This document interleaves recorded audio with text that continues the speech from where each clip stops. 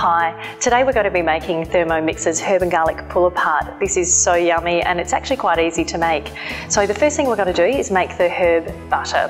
In goes our herbs and garlic.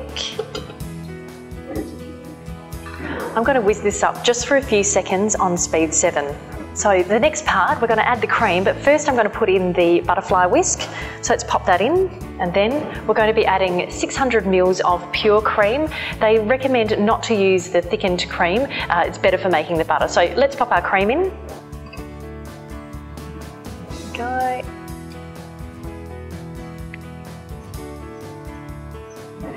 Okay, so the next part, we've popped our lid back on. We're going to split the cream into the into the butter solids component and to the liquid component. So I'm going to put, pop this on at speed four for about one to three minutes, but we're going to keep an eye on it just to make sure that we don't overdo it. So let's go. Okay, so we've had that whipping for about a minute and a half. Let's check to see what's happened. Oh wow, that has definitely split. Have a look at that. That's our cream turned into herb butter. Now we're going to add a bit of water just to wash, it, uh, wash out the extra liquid and we'll go from there.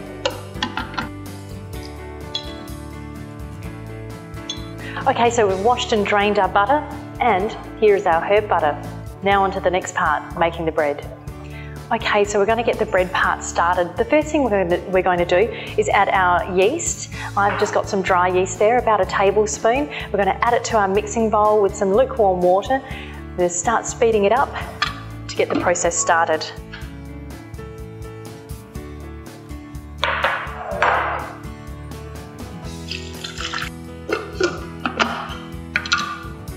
Okay, now I'm going to put this on for about, uh, about a minute, two minutes on 37 degrees.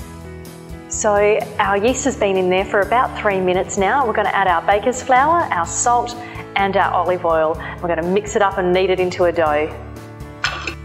Okay.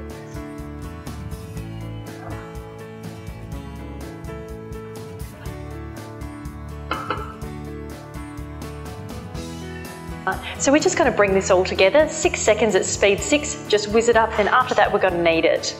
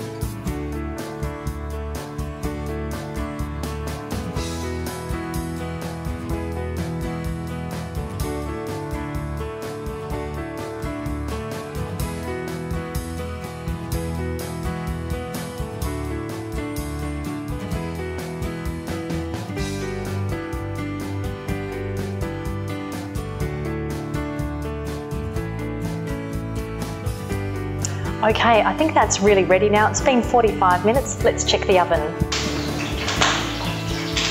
And that is garlic and herb pull apart. Looks fantastic.